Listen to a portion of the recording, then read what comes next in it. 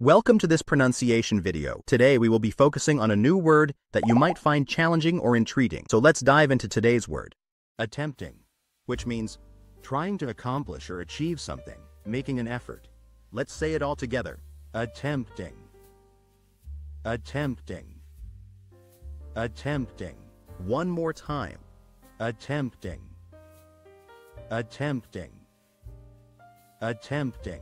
Thank you for joining us on this adventure in pronunciation. Remember, language is a journey, not a destination. Keep exploring, experimenting, and expanding your linguistic horizons. We'll see you next time.